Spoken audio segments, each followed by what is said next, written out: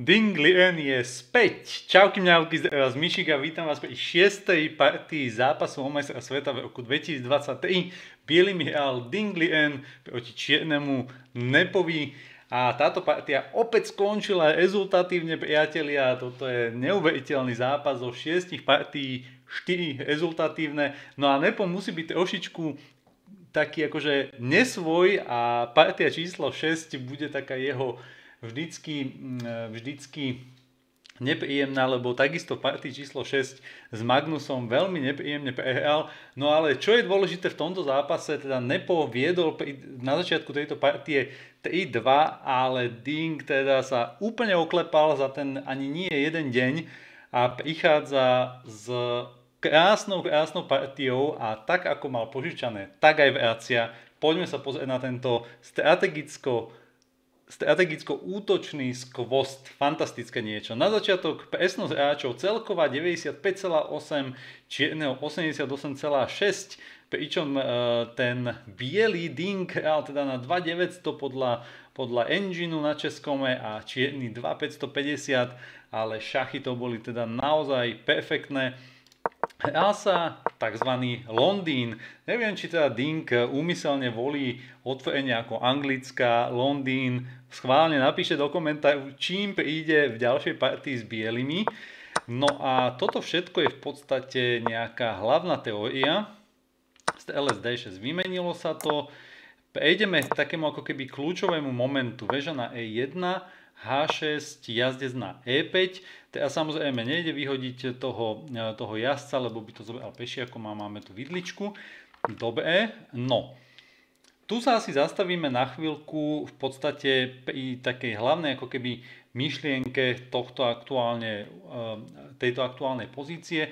V podstate vidíme nejakú nerovnováhu v pešiakovej štruktúre. To je, to je prvá vec. Tu sa vlastne ten čierny môže snažiť o nejaké, o nejaké také prielomy, že A6, B5, B4 a vlastne zautočiť na toho pešiaka na C3. To je taký jeden z plánov toho, toho čierneho. Ďalší plán uvidíme neskôršie, ten môže byť spojený vlastne s postupom B pešiaka, eh, pardon, E pešiaka. No ale čo uvidíme vlastne v tejto partii je to, že ak si všimnete, tak, tak ako v 5. partii e, mali teda opačné farby a hrali sme tam na e, čiernych poliach, tak v tejto chvíli teda budeme, budeme ako keby tohto, tohto strelca trošku ako keby dávať, dávať bokom. A všimnime si, že ten biely začína staviať figurky na čierne polia. To sme ešte veľmi, veľmi ďaleko. Teraz prichádza veľmi dôležitý ťah vlastne A4, ktorý práve teda blokuje ako keby ten plán, že A6, on musí so strelcom niekde uhnúť a ide B5, takže on toto ako keby blokuje. Zahral A6, tu e, niektorí komentátori hovorili, hovorili, že vlastne tento ťah tým pešiakom je taký ako keby veľmi, veľmi záväzný a v takýchto štruktúrách teda pokiaľ študujete nejakú, nejakú stratégiu, je ako keby v úvodzovkách lepšie pešiakmi neťahať a snažiť sa povedzme presúvať e, svoje figúry a nejakým spôsobom tu, tu viacej lavírovať. Ale dobre, z ľudského hľadiska A6 je logické, lebo takéhoto strelca tu jednoducho nechcete mať, ktorý vám vlastne pozerá úplne do pozície. Išlo SF1, Inak ja som častokrát, keď som sledoval tú partiu, tak ja som normálne na toho strelca najv ako keby zabúdal a on tu stále vlastne drží tú diagonálu. Išlo jazdec na, jazdec na D7, výmena, výmena. No a prichádza prvý taký ako keby kľúčový ťah a to je A5, ktorý v podstate ukazuje na slabosť vlastne tejto, e, týchto pešiakov čierneho na dámskom krídle. Práve vďaka ťahu A6 e, sú tí pešiaci teraz jednak blokovaní a jednak B7 môže byť ako keby veľmi nepríjemne e, niekedy, niekedy ohrozovaný, alebo, alebo vlastne ten Biely môže aj napríklad jazdca niekedy dostať teoreticky, hovorím, že veľmi teoreticky aj na B6, ale hlavne teda plán je dostať sa na C5, zahrať vlastne B4 pešiakom a ten, tá celá, celé krídlo, ako keby to dámske krídlo bieleho bude úplne, úplne fixované. Pešiaci budú, takáto pešiaková štruktúra bude vlastne všetci pešiaci na čiernych poliach, to znamená ten strelec bude úplne mimo hry. No a s jazdcom na, s jazdcom na C5 to bude doslova, že, že mučenie toho čierneho. Takýto je teda plán toho, toho bieleho aktuálne. No a čierny sa samozrejme bude snažiť vlastne presadiť ako keby E5. Práve preto aj biely má väžu na E1, aby vlastne držal pod kontrolou nejaký prípadný postup E5. Prišla dáma na C7, dáma F3, väža na väža F na C8. Pointa je vlastne taká, že bráni vlastne tomu ťahu B4, lebo inak by zobral pešiaka na C3. Väža na A3, takže takto nenápadne si ho ako keby pochrániť toho pešiaka. Prišlo strelec na G6 jazdec na B3, no a ide teda na to vysnívané políčko C5. Obidvaja realizujú svoj plán. Uh, no a tu vlastne ten biely prvýkrát ako keby ponúkol výmenu dám, čím sme sa mohli dostať do koncovky. Ak by vymenili vlastne tie dámy, tak, e, tak by sme vlastne videli práve asi takú, takú veľkú mučie pre toho čierneho, pretože práve to pole B7 by bolo mm, kameňom úrazu pre toho, pre toho čierneho. Jednak teda, že tam ten jazdec vie naskakať, nepríjemne toho pešiaka ako keby obletovať. A zase tu vidíme to isté, čo vlastne v minulej partii, kedy Ding hral čiernymi a mal toho svojho, svojho černopolného strelca na B6 a potreboval ho práve na kráľovskom krídle a tu je to ako keby naopak, že vlastne teraz má ten nepo toho svojho strelca na e, na G6 a možno by sa mu hodil v tejto chvíli na C6, že by vlastne bránil toho, toho pešiaka, aj keď by bol taký akože veľmi statický, ale možno by to bolo pre neho lepšie. OK, Čierny sa teda rozhodol tej dámy nevymeniť, zahral dáma na E7 a vlastne plán je ako keby tlačiť toho pešiaka E5 dopredu, čo ešte v tejto chvíli nejde a prichádza veľmi e, zaujímavý ťah e, H4 od Dinga a je to taký vlastne také normálne, že vrátenie alebo, alebo veľmi silný return, keby som použil takú tenisovú terminológiu toho, čo predviedol vlastne presne predchádzajúcej partii nepo bielými voči, ne, voči, voči Dingovi. Pretože teraz ten pešiak e, vlastne jednak blokuje nejaké pole G5, kde by tá dáma mohla teoreticky ísť a snažiť sa ju vymeniť ale niekedy môže vlastne tuto byť spojené e, plány s postupom pešiaka na H5. To sa napokon aj stane. Išlo väža na E8, teda on má stále ten plán vlastne e, potlačiť toho pešiaka dopredu a otvoriť to centrum po tom Ečkovom stĺpci. Prichádza jazdec na CP, to sme si povedali, že vlastne ten jazdec tam smeruje, takže on sa tam aj chcel dostať. No a Nepo teda na nič nečaká a hneď otvára hru E5. OK, pomerne teda záväzná vec. Tu si treba všimnúť, že vlastne ten jazdec už útočí priamo aj na to pole B7. On teda vložil taký ako keby medziťah väža na, väža na B3 s tým, že napadol pešiaka na B7, ale zase na druhú stranu necháva toho pešiaka na A5. Je to také, aj, aj počítač tomu dáva nejaký otáznik s výkričníkom, ale biely si stále drží proste veľkú, veľkú výhodu, takže on to zobral, zobral, je napadnutá síce väža, ale my sme napadli dámu, on s tou dámou teda musí uhnúť. No a väža nemá lepšie pole ako, ako na, uhni, na uhnutie, ako na A3, kde vlastne opäť zase s tempom, ona sa síce uhýba, ale s tempom ohrozuje figuru.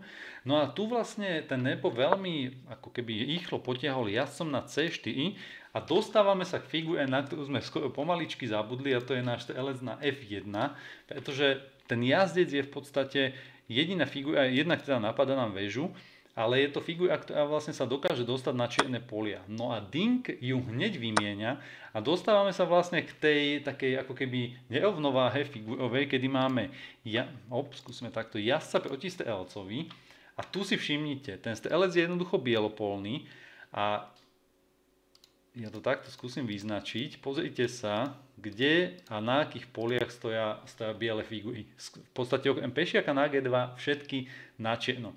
Krásne, krásne, fantastické, strategické prevedenie v podaní Dinga, ako sa hrá partia v úvodzovkách po čiernych poliach. Presne vlastne to, čo v predchádzajúcej partii ukázal Nepo, kde sme akože veľmi, veľmi chválili, kde vlastne hral po tej diagonále A2 G8 s, obsadne, s plánom obsadenia pola DP, teda pre zmenu po bielých poliach, tak dnes sme si mohli vychutnať partiu po čiernych poliach. A že tá partia bola teda plná napätia, to vidíte sami. Išlo teraz spomínané H5, ten pešiak je krytý vlastne teraz od veží, a vzniká tu strašne veľa, veľa taktiky. Jednak teda napadol, napadol toho strelca, takisto je napadnutá väža, e, alebo teda väža sa môže, môže vymeniť. No ale otázka je, že kam vlastne s tým strelcom teraz ustúpiť. skúste si aj vy takúto otázku. Je tých možností nie je tak veľa, povedzme 1, 1, 2, 3, nazvime to 3 možnosti. A práve toto je taká kľúčová pozícia, kde, kde Nepo teda zahral ten, ten ústup veľmi rýchlo, čo aj trošku niektorí kritizovali. Na H7 sa nám veľmi nechce ísť kvôli tomu, že si vlastne túto ako keby celú tú ústupovú cestu pre kráľa odežeme a niekedy v budúcnosti vlastne môžeme dostať mat na poslednej ráde. Takže H7 vylučujeme, ostáva nám D3 a C2. No a D3 vyzerá tak e, oveľa prirodzenejšie, pretože v podstate, v podstate síce by mohol ten e, biely ako keby získať pešiaka, ale otázka je, že ako veľmi, veľmi ho získa, lebo tu by vlastne tá partia sa dostala do veľkej, veľkej rovnováhy, takže toto by ani nebolo, nebolo také v, v takom záujme toho, toho bieleho, hlavne dáva teda toho jazdca za toho strelca, ale zároveň teda keď sa bavíme o ústupe strelca, tak e, ten strelec by tu stal práve z toho hľadiska dobre, že je ako keby krytý tým svojim, tým svojim pešiakom, ale teda aj počítač, aj nepo sa rozhodli, alebo teda navrhujú, že práve LS na C2, ale LS na C2 je taká ako keby, nazvime to nepresnosť, no a Ding to využíva úplne fantasticky, teda vyhadzuje jazdca na, jazdca na B7, ešte tu si treba ukázať ako keby takú, e, takú zvláštnosť, čo som videl. A skúsime tak, že keby vlastne neustúpil so stradcom, lebo ešte druhá kľúčová varianta je zobrať tú väžu, on to vezme pešiakom a toto, do tohto možno asi ten nepom mal ísť, ale toto je akože brutálne ťažké nájsť. No a teraz vysívam dáma, vysívam strelec a tu je akože neuveriteľný ako keby e, ťah, alebo hlavne idea a ustúpiť s dámou na D8 ustúpiť z dámu na D8, nechám síce napadnutého strelca, ale pointa je, že vlastne všimnite si vášho jazdca, ten nemá veľmi dobré pole ako keby ústupu, ak nepočítame pole A4. A pointa je, že ak vezmem vlastne toho, toho strelca, tak prichádza šach, uhne, šach a v podstate dostávame sa do e, takého akože väčšného šachu, hej, že ten král bude jednoducho túto ústupovať, tak to skončí emizou alebo opakovaním ťahov, čo samozrejme on by bol, on by bol veľmi spokojný, ten čierny, ten nepo.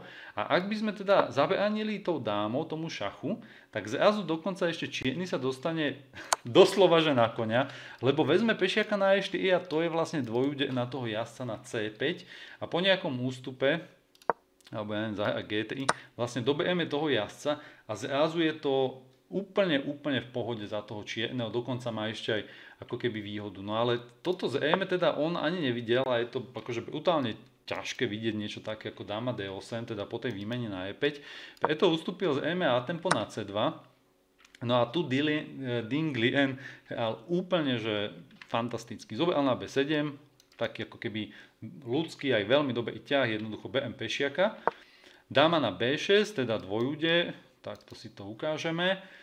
Dvojude jazdec na jazdec na D6 napadol väžu. Samozrejme teraz pozor, nemôžeme brať e, ako keby jazdca dámov, pretože príde šach, hop, on to síce vezme väžou, ale jednoducho mu vezmeme dámu, takže tam by bol taký ako keby odkrytý šach, takže jazdec na D6, on musel teda niečo robiť, vymenil tú väžu, to je asi najlogickejšie, zobral to dámov a všimnite si, ako sa vlastne tie figúry približujú k tomu čiernemu kráľovi a hlavne stále zachovávame tú tému, ja to dám takouto farbou, že všetky figúry sú, alebo tie kľúčové figúry sú na čiernych poliach a tým pádom ten strelec vlastne si nevie do ničoho ako keby ťuknúť. A OK, pokračujeme ďalej, prirodzený ťah, správny, dáma zobrala na B2 pešiaka, No a prichádza, bola napadnutá väža, takže väžou uhýba, ide na A5, jednak kvôli tomu, že vlastne tú väžu no, nemá kam s ňou vlastne inde ani ísť, takže je to jediné pole a zároveň vlastne blokuje pešiaka na A6. Král H7, stále akože pozícia veľmi ťažká, veľmi ťažká na beánenie, ale asi možno aj ubeaniteľná. Tu inak je taká zaujímavosť, že stalo sa stalo sa väža na C5, ale mohol ten biely opäť zahrať taký akože zaujímavý, zaujímavý ťah, že dáma na E1, čo je opäť brutálne ťažké, ťažké nájsť a z pohľadu Dinga, alebo keď som videl na kamere, tak toto z EM asi ani veľmi nezvažoval. Jednak teda pointa je, že tu si je vlastne pešiaka na CTI, ale je zároveň napadnutý vlastne pešiak na F7 aj pešiak na C4. Takže o jedného ďalšieho ako keby ten, ten čierny dojde. Ale on to teda zahral veľmi ľudský. Veža na C5 s tým, že teda ten pešiak je stále napadnutý a pointa je dostať sa vežou ako keby na tú 7 radu a tam sa snažiť zautočiť. No, a tu prichádza asi ten kľúčový moment veža na, e, pardon, dáma na C1 šach, čo bola taká mm, chyba alebo nepresnosť, no ale ťažko to vyčíta tomu nepovi, lebo tá pozícia je brutálne, brutálne ťažká. Ja teraz neviem, čo tu bolo lepšie, či dáma na C. Ja si dáma na C jednoducho zobrať toho pešiaka. A síce by tu ako keby bol vo veľkých múkach, ale budíš proste, hral by sa jazdec na asi tohto by som, by som zobral, že povedzme takto.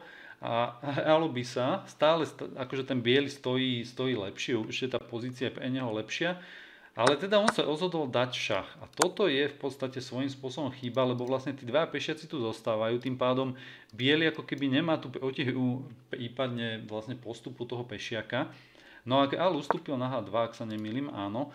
A na H2 vlastne ten král je úplne, úplne v bezpečí pre toho bieleho, pretože e, nemá mu ako ten čierny dať čach tým, že vlastne na čiernej diagonále on má bielopolného strelca a čo je dôležité vlastne on s tou dámou, inak vlastne, pozrieme si to celé, mne sa zdá, že celú partiu on sa pohyboval s tou dámou iba po tejto diagonále, aby, aby vlastne nemohol dostať žiadny nejaký, nejaký hlupý šach od tej dámy a tu vlastne e, hrať na nejaké také, nazvime to hop, alebo tade to, na také motívy väčšného šachu. OK, išlo F6, no a zase ťažko radiť. Vyskúšajte si túto partiu hrať ako keby sami za čierneho. Proste tu každý ťah je, je veľmi ťažký za toho, za toho čierneho a je to skôr, skôr ako keby, že čím spravíte iba menšiu chybu alebo menšiu nepresnosť. Išlo F6, dáma na GTI, takže áno, zostávame na tej diagonále a plán je teda jednoduchý, skúsiť dať niekde mat. Ten čierny ma tu dám na C1, tá idea z EME toho nepa bola kvôli tomu, aby on sa vedel s dámou vrátiť na G5 a vlastne e, tým pádom ako keby prekrývať tento stĺpec a, a rozby toho matu.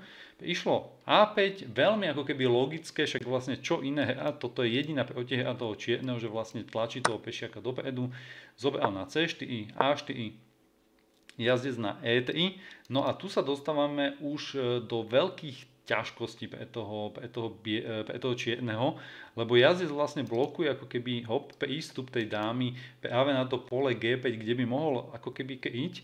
Takže on um, sa rozhodol ísť teraz strelcom na B1, e, kvôli tomu, aby vlastne niekedy, niekedy mal toho pešiaka na A2 vlastne pokrytého, keď tu pôjde a zároveň tá väža sa mohla zapojiť do obrany po 8 rade.